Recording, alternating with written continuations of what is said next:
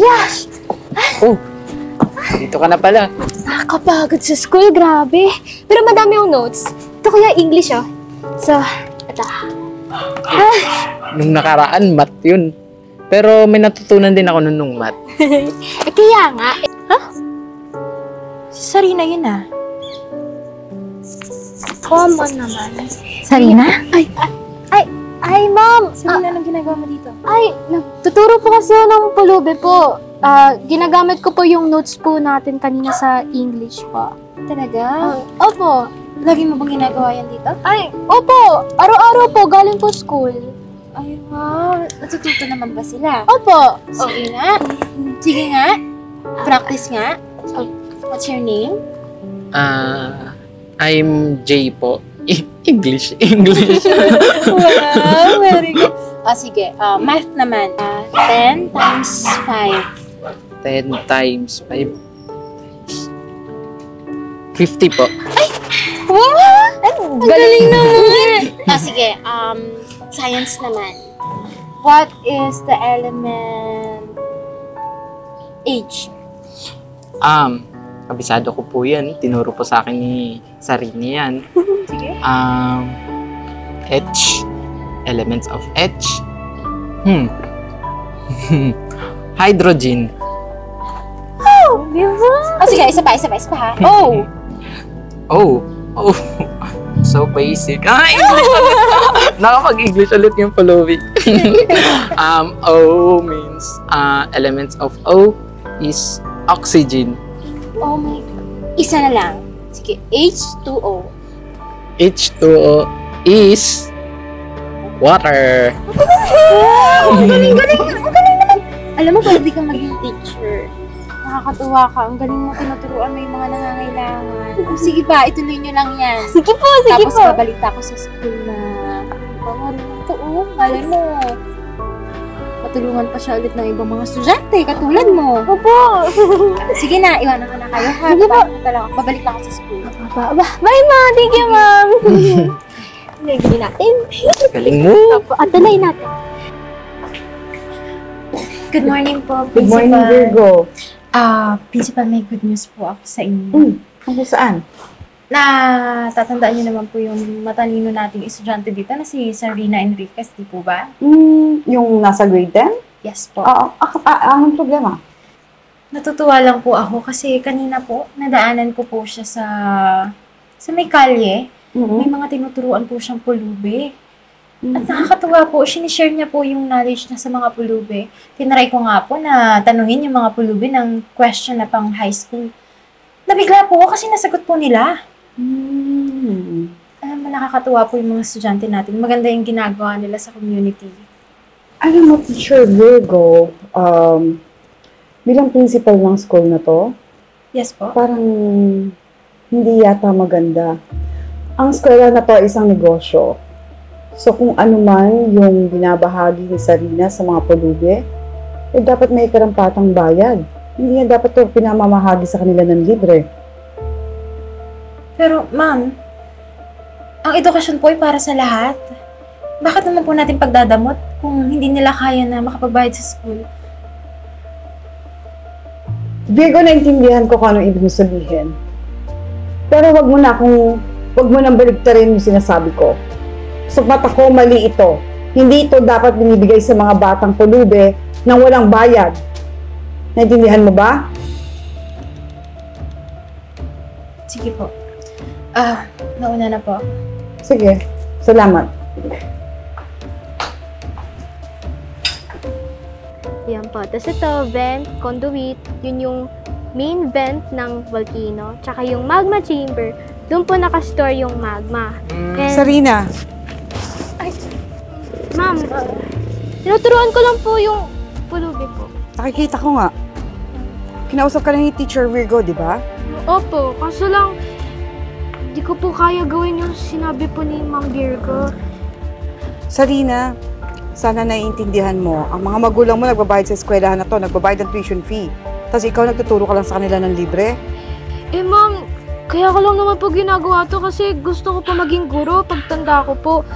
At saka po, yung mga pulubi po o yung mga mayayaman po, lahat naman po sila kailangan po ng edukasyon po. Ano man po yung uri ng antas po nila. Basta sinabi ko na sa'yo na hindi pe pwede. Tandaan mo yon. Kapag inulit mo pa to, Sarina, wala akong ibang magagawa kundi suspindihin ka. Hindi po po pwede po yun. Itigil mo na yan. Kuya, sorry. Principal kasi namin, lagi nagagalit sa akin pag nagtuturo po ako. Ah, good morning po, principal. Maganda umaga naman Bakit po. niyo po pala ako pinatawag? Ah, kayo po ba yung magulang ni Sarina? Ah, actually po, yung parents po kasi ni Sarina ah, is nasa US po, doon po kasi nagtatrabaho. Kaya ako po yung tumatayong guardians ni Sarina. Ah, ganun ba? Nabalitaan ko kasi kahapon, sina kinausap ako na isa sa mga teacher dito, um, na nakita si Sarina sa labas ng school. Nagtuturo siya ng mga pulube ng libre. Alam niyo, concerned na kasi ako sa, sa, sa pamangkin niyo dahil bawal to. Kaya kung pwede sana, ah, pagsabihan niyo si Sarina na itigil na yung ginagawa niya. Maganda sana yung ginagawa niya, kaya lang hindi po pumapayag ang, ang eskwelahan ito sa mga ganong activities. Ah, principal, actually po, wala po akong nakikitang masama sa ginagawa ni Sarina. Sadyang, sadyang mabait lang po talaga yung batang yun. Naintindihan ko po kung hindi niyo mamasamain sa susunod na pagkakataon na malaman po namin na ginagawa pa rin ito ni Sarina. Wala po ako magagawa pero kailangan namin siya isuspinde. Ah, principal, wag naman po. Sige po, ah, kausapin ko na lang po yung bata. Sige po, please. Thank you po. Thank you po.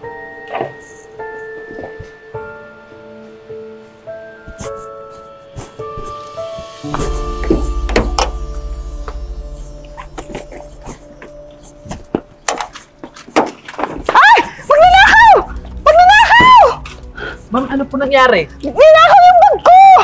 Ano? Teka lang, ma'am ha. Hahabulin ko po. Sige!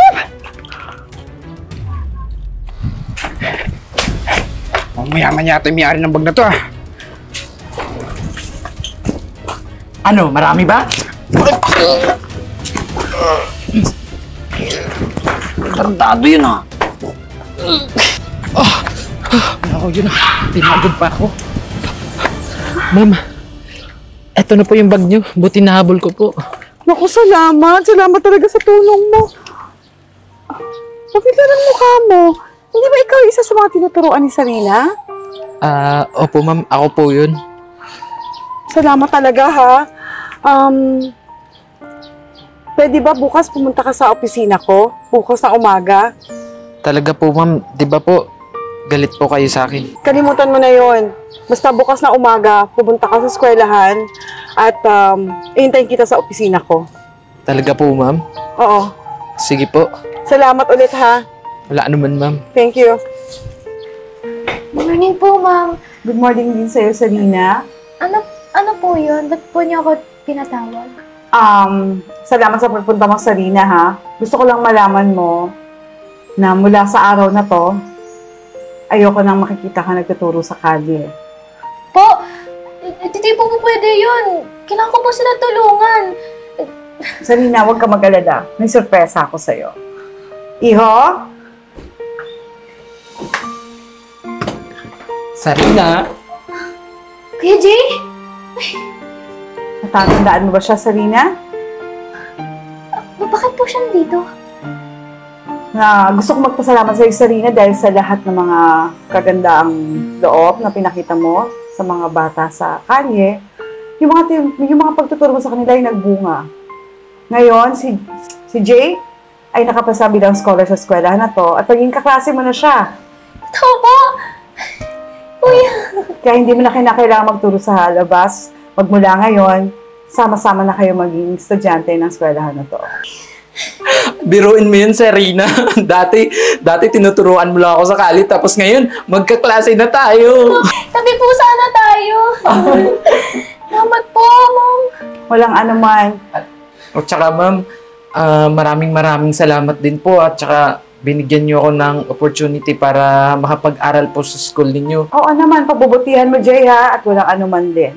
Salamat sa iyo, Sarina. At um, sana marami ka pang magawa ng kagandahang loob, okay? Salamat po, Principal. Walang anuman, Sarina.